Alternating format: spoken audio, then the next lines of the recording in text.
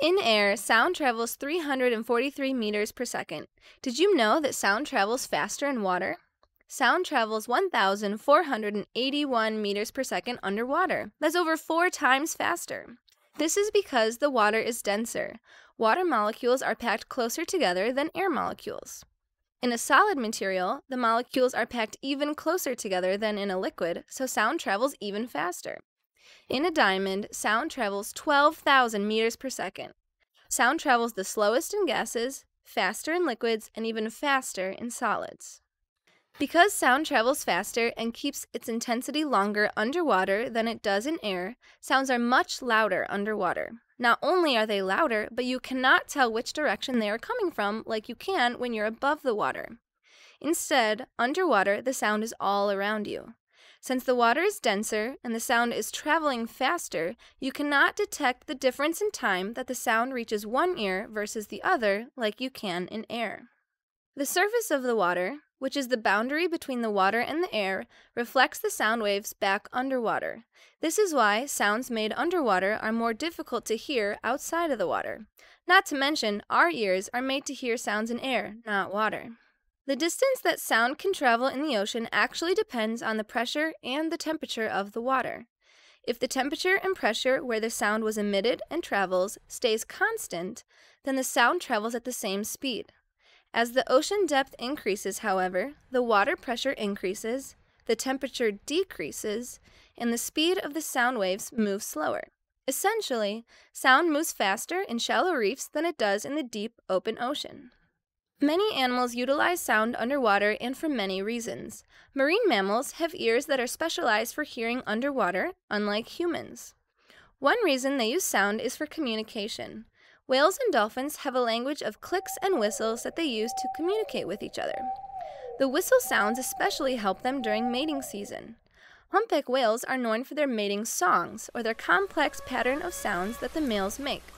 These songs can last for up to 20 minutes and can be sung for hours.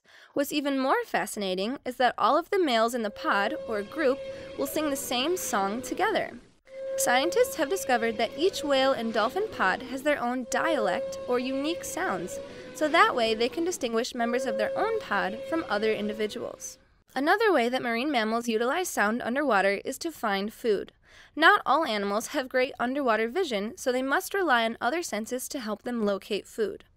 Whales and dolphins use a type of biological sonar called echolocation. The clicks that whales and dolphins make are primarily used for finding food and determining their surroundings. When they click, the whales and dolphins then listen to the echoes of the click that return to them from any nearby fish and other objects. When they hear the echoes, they can determine and locate each object. Once they have located the fish, they are able to catch and eat it. Fish also utilize sound underwater to communicate with each other. Some fish, such as the freshwater drum in our Lake Michigan tank, can contract the muscles around their swim bladder to vibrate and produce a thumping or drumming sound. A swim bladder is an air sac in their abdomen that helps with buoyancy. This is why they are called freshwater drums. Males create these low pitched sounds that travel long distances during mating season to attract females. Atlantic croakers also produce sounds with their swim bladders that create grunts or croaking sounds. The sound of a toadfish's swim bladder sounds similar to a foghorn.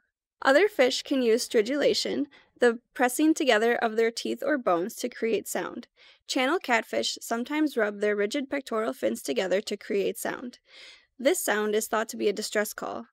Seahorses also use stridulation because the bony plates in their head rub together during feeding.